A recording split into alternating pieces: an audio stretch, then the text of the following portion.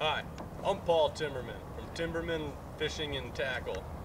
I fish 365 days out of the year. When I'm not fishing, I'm drinking. When I'm drinking, I drink Mouthy Muskie from Northwoods Brew Pub.